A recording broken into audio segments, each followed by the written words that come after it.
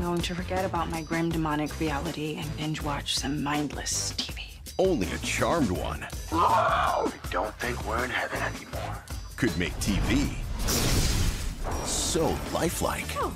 How'd you do it, demon? We demand answers. Maybe we could take a selfie? Do we really have to send it back? This isn't some innocent piece of fan fiction. Mel, we have a situation.